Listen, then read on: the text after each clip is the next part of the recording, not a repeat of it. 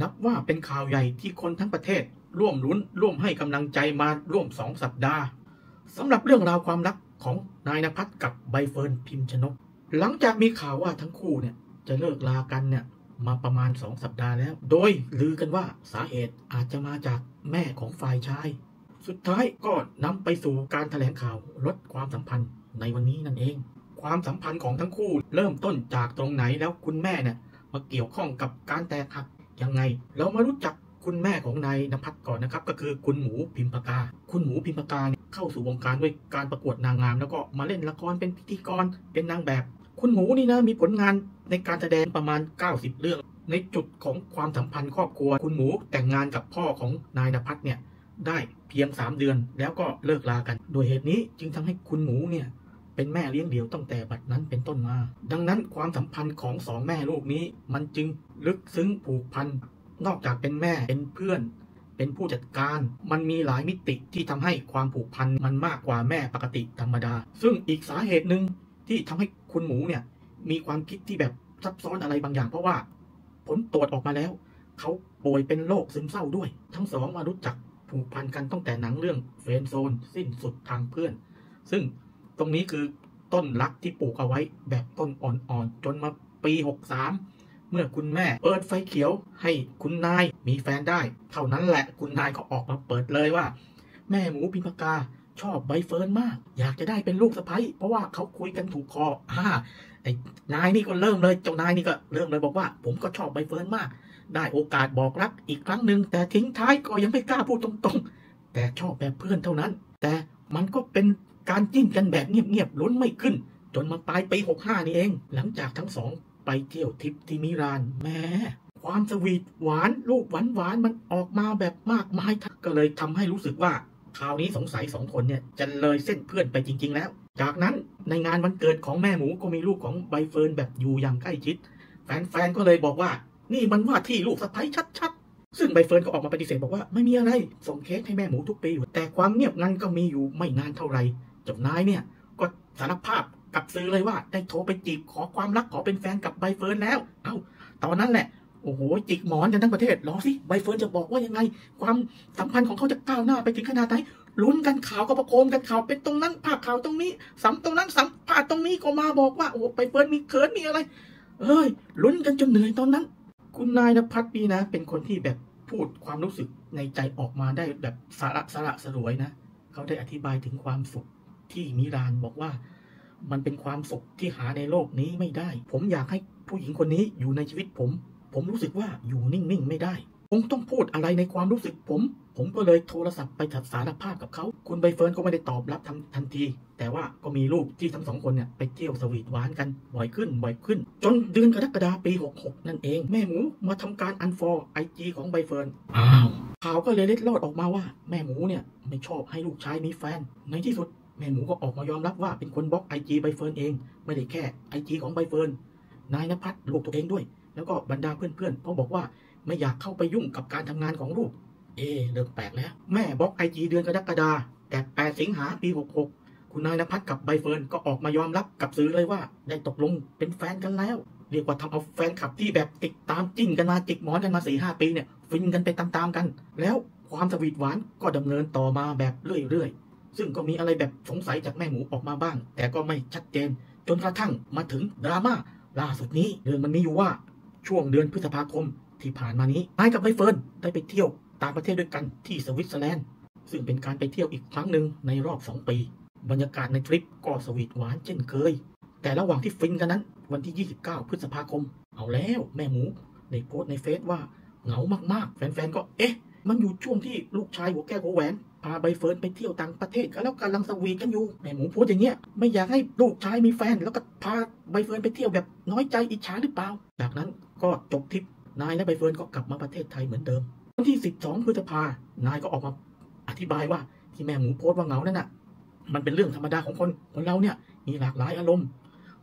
นายเอ้ยเริ่มบริหารความสัมพันธ์ยากแล้วนะตอนนั้น คุณนายก็บอกว่าไม่อยากให้สื่อเนี่ยเอาเรื่องที่แม่หมูโพสต์เนี่ยไปเกี่ยวข้องกับใบเฟิร์นแม่ มันอดเกี่ยวข้องไม่ได้แล้วครับคุณนาย และแล้วดราม่ามันเริ่มจริง ๆ อีกครั้ง เมื่อวันที่ 20 มิถุนายน เมื่อคุณใบเฟิร์นได้ลงรูปแล้วก็โพสต์ใน IG ของตัวเองในขณะทำเวิร์กช็อปการแสดงว่า ใจแหลกสลายมันเป็นอย่างนี้นี่เอง พร้อมกับหัวใจสีดำหลายคนก็เริ่มโยงแล้ว เอาเรื่องนี้มันเกี่ยวข้องกับแม่หมูแล้วก็เรื่องนายหรือเปล่า คุณนายก็ได้มาโพสต์รูปหัวใจสีขาวใน comment นี้ด้วย ซึ่งมันก็ทำให้ข่าวลือยิ่งหนักกันอีกว่าโอ๊ย สองคนเนี่ยต้องเลิกกันแน่ ๆ เลย เรื่องแปลกของการสังเกตของพวกสื่อต่างๆอะวันที่ 24 มิถุนาใบเฟิร์นก็ออกมามีอีเวนต์แล้วก็ได้เจอบรรดาสื่อต่างๆ แต่จากที่ใบเฟิร์นเนี่ยเคยพูดไม่เคยหลบเลี่ยง พูดแบบแมนๆด้วยซ้ำแต่คราวนี้ไม่พูดอะไรกับสื่อเลย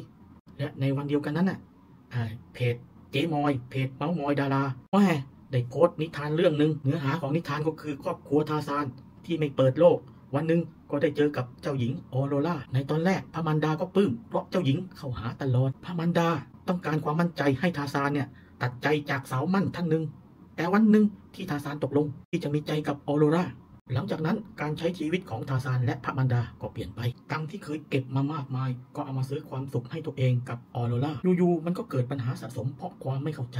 พอคบกันก็ตัวติดกัน ทิ้งแต่พระมันดาเอาไว้ในป่า ออโรราก็ไม่เข้าหาเหมือนเมื่อก่อน บัตรเครดิตทาซานเริ่มสั่นคลอน เดี๋ยวทาซานอะไรวะเจมอย มีบัตรเครดิตด้วย มีแฟนแล้วกินหรูอยู่แพง จนพระมันดาไม่เข้าใจพระมันดาก็เลยรู้สึกว่าอยากให้ลูกเก็บตังค์บ้าง เหตุผลเพราะว่าเคยลำบากกันมานาน เฮ้ย อยู่ในป่าต้องเก็บตังค์ด้วยหรือวะเจมอย และมีสิ่งที่ทำให้พระมารดารู้สึกเจ็บปวดหนัก เพราะว่ามีบางสิ่งที่ทาซานและออโรรากระทำต่อพระมารดา ไม่สามารถจะเป่าประกาศกับวงชนได้ แต่มันกรีดใจผู้เป็นแม่ยิ่งนัก ในมุมของทาซานที่อยู่กับพระมารดาในป่ามานาน มันมีความอึดอัดความเยอะของพระมารดาที่เข้มงวดตั้งแต่วัยเยาว์ยันตอนโตทาซานจึงเข้าใจว่า พระมารดากีดกันจนตนเข้ากับใครไม่ได้ จากเรื่องหนึ่งที่ไม่ได้รับการแก้ไขแล้วไปสะสมกับเรื่องใหม่ ๆ สุดท้ายบานปลายเรื่องของเราสามคนมันเริ่มเปราะบาง ความสัมพันธ์ที่คาราคาซังมานานโรรากับทาซานจึงเริ่มห่างกันเฮ้ยเพจมามอยดาราแกโพสต์มาอย่างเงี้ยไม่ต้องบอกเขาก็รู้กันทั้งประเทศแล้ว ว่าเรื่องเนี้ย มันหมายถึงใครสามคน แม่ ลูกแล้วก็แฟนลูก โอ้ย ซึ่งเหตุการณ์ในวันนั้นน่ะทัวร์ก็ไปลงแม่หมูอย่างหนักเพราะว่าคิดว่าแม่หมูเนี่ยเป็นต้นเหตุที่ทำให้ทั้งสองเขาเลิกกัน ในมุมของคนเป็นแม่นะ ต้องเข้าใจว่าเรื่องนี้อะความผิดความถูกอะมันเอามาตัดสินอะไรไม่ได้ อย่างที่คุณนายพูดเลย จนวันนั้นมันเกิดแฮชแท็กมีแม่เมื่อพร้อมเกิดขึ้นเลย ซึ่งในสังคมแฟนๆของทั้งหมดเลยเนี่ยทั้งของคุณนายแล้วก็ของใบเฟิร์นก็ออกมาบอกว่า คุณแม่ทำอย่างเนี้ยไม่ถูก เพราะว่าใบเฟิร์นก็มีพ่อมีแม่เหมือนกันความรู้สึกของพ่อแม่ของใบเฟิร์นเขาก็มีความรู้สึกของคนที่เป็นแม่ของคุณนายก็เข้าใจเอาละมันเริ่มอนระเวง แต่ทัวร์ก็ยังไปลงคุณแม่หมูอยู่ดีแต่แหมตอนแรกเนี่ยเห็นบอกว่าอยากจะได้เป็นลูกสาว แต่พอคบกันแล้วเนี่ย ลูกเอาเวลาไปให้กับแฟนบ้างเนี่ยก็รู้สึกน้อยใจ รับไม่ได้เหรอ ถ้าแม่ป่วยเนี่ยแม่ก็ควรไปรับการรักษาโอ้เจ็บนะคำเนี้ยชาวโซเชียลก็ยังพูดต่อว่า ไม่ใช่มารั้งลูกชายเอาไว้แบบนี้ จะให้ลูกชายอยู่กับตัวเองตลอดชีวิตน่ะ มันเป็นไปไม่ได้หรอก หลายคนก็เชียร์ให้ใบเฟิร์นเลิกเพราะว่าเจอแม่ผัวอย่างเงี้ยมันก็อึดอัด แต่ก็ต้องเข้าใจคนที่เป็นแม่ผัวแล้วเขาเป็นโรคซึมเศร้าด้วยนะ มันมีความแตกต่างกับแม่ผัวธรรมดาของคนอื่นอันเนี้ยเขาอยู่ด้วยกันมานานเป็นแม่เลี้ยงเดียว อืมมันมีหลายปัจจัยว่ะทุกคนก็มีเหตุผลของตัวเอง แล้วมันไปพีคอีกตอนที่มีคนไปโพสต์ภาพที่แม่หมูตอบตอบคำถามกับแฟนคลับที่ถามว่า แบบเนี้ยต้องรีบมีหลานแล้วไหมแม่หมูตอบว่า ขอผ่านค่ะอ้าวไอ้เรื่องนี้มันก็ยิ่งเป็นการตอบย้ำว่าแม่หมูเนี่ยไม่ชอบใบเฟิร์นไอ้คนมาโพสเนี่ยมันปั่นนี่ว่าเรื่องเนี้ยมันมีคนปั่นเพราะว่าที่เอามาโพสเนี่ยมันเป็นของเก่าต้องนานแล้วไม่เกี่ยวกับเรื่องตอนนี้เลย แล้วคุณนายก็ออกมาโพสว่า ขอใช้พื้นที่นี้ในการอธิบายเบื้องต้น ก่อนที่ทุกคนจะเข้าใจผิดลุกลามบานปลาย เพราะว่าตอนเนี้ยครอบครัวของคุณใบเฟิร์นและผมกับคุณแม่เนี่ยได้รับผลกระทบอย่างมาก ผมขอเวลาเคลียร์จัดการปัญหาอีกสักนิดนะครับ แล้วผมจะออกมาชี้แจงด้วยตัวเองอีกครั้งครับ และแล้วเมื่อวานที่คุณนายบอกว่าจะแถลงวันที่ 4 มิถุนาที่โรงแรมฮินตันโอ้นั่นแหละเวลา 15 นาฬิกาโอ้โหก็เลยออกมาประโคมข่าวเลยว่า วันที่ 4 เวลา 15 นาฬิกาจะมีเรื่องราวใหญ่ระดับประเทศ หลายคนก็บอกว่าอะไรของมึงวะคนเขาจะรักกันหรือเขาจะหยุดรักกันอะไรยังไง มันก็เป็นเรื่องส่วนตัว แล้วทำไมประโคมข่าวไม่ให้สื่อประเทศไทยนี่นะ ช่างสรรไอ้ข่าวระดับประเทศเนี่ยมันต้องมีผลมากๆที่กระทบกับชีวิตประชาชน อย่างเช่นกกตลาออกแบบเนี้ย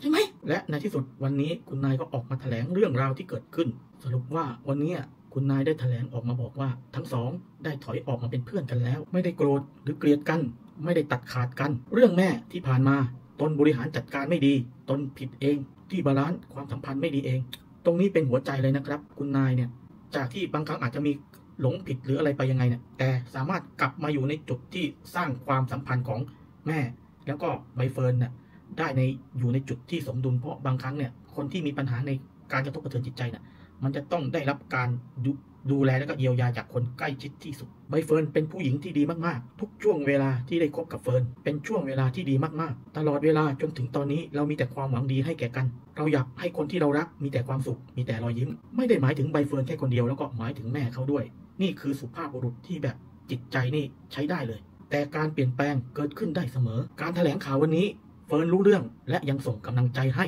งานนี้ไม่มีเรื่องมือที่3ร้อยเปอร์เซ็นที่ผ่านมาไม่รู้สึกเสียดายเลย เพราะว่าทุกวันทำเต็มที่และมีความสุขมาก เขาเป็นผู้หญิงที่ดีที่สุดในใจผมเลย นายแกนี่ใช้ได้ ทุกสิ่งทุกคำพูดเนี่ยมันไม่ได้เป็นการเสแสร้งหรืออะไรเลยดูจากแววตาดูจากน้ำเสียงเนี่ย แล้วก็มีสะอื้นไปด้วย มันมีทั้งความรัก ความเป็นห่วง แล้วก็ความสะเทือนใจ มันสะเทือนใจจากว่า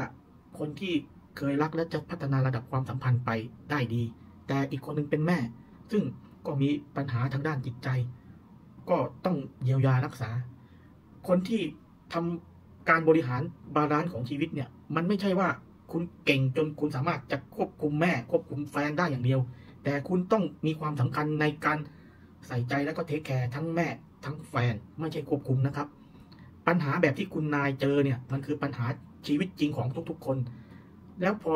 มาถึงตรงนี้ก็ถึงเข้าใจว่า เฮ้ย นี่แม่งคือปัญหาระดับประเทศ จริง ๆ มันไม่ใช่เรื่องคนรักกันหรืออะไร แต่มันเรื่องของความรู้สึกของคนที่เข้าใจหัวใจของคนที่เป็นแม่ ของคนที่เป็นแฟน แล้วก็ของตัวเอง แล้วทุก ๆ คนเนี่ยที่เจอปัญหานี้จะมีวิธีแก้ไขปัญหาที่แบบว่า หาทางออกที่ทุกคนจะอยู่แล้วก็มีความสุข ตอนนี้แม่ของคุณนายเนี่ย คุณหมูเนี่ย ก็ไม่ใช่ว่าเขาจะมีความสุขที่ว่าคุณนายเนี่ย ทิ้งแฟนแล้วไปหาเขาแล้วเขามีความสุขมันก็ไม่ใช่นะครับ ลองนึกดีๆ คนเป็นแม่พอเห็นลูกเนี่ยมีความสะเทือนใจอะมันต้องมีความทุกข์เพียงแต่ว่ามันมีอะไรบางอย่างที่มันจะต้องเกิดเรื่องให้มันเป็นแบบนี้ ซึ่งทุกคนน่ะก็จะต้องบริหารชีวิตของตัวเอง ให้ได้แบบที่แต่คุณนายนี่ทำเลย ถือว่าใช้ได้ ไม่จำเป็นที่แบบว่าโอ้เราจะต้องแต่งงานให้ได้แล้วอีกคนนึงทุกข์ใจจนสุดๆ อันนี้เฟิร์นเป็นเพื่อนกันได้ แม่ก็ยังอยู่แล้วพัฒนาความรู้สึก balance กันใหม่ วันข้างหน้าอาจจะกลับมาเป็นแฟนอย่างเดิมก็ได้แล้วคุณแม่ก็เข้าใจ มันก็สามารถทำได้ แต่ถ้าเกิดหักหาญอะไรลงไปเนี่ยทุกอย่างมันอาจจะไม่สวยงามแบบนี้ ชื่นชมนะครับ แล้วก็ขอเป็นกำลังใจให้ทุกชีวิตที่เจอปัญหาอุปสรรคแบบนี้ แล้วคลิปนี้นะครับ มีอะไรที่จะมาแลกเปลี่ยนกันก็ยินดีเลยนะครับ เพราะว่ามันไม่ใช่ชีวิตแค่คนรักกันสองคนแต่มันคือชีวิตของทุก ๆ คน แล้วก็อย่าลืมนะครับที่สำคัญคือกดไลค์กดแชร์กด subscribe ให้เราด้วยนะครับ เป็นกำลังใจให้แก่กันเช่นกัน แล้วก็เป็นกำลังใจให้กับทุกๆคนครับคลิปนี้ก็จบลงขอขอบคุณและก็สวัสดีครับ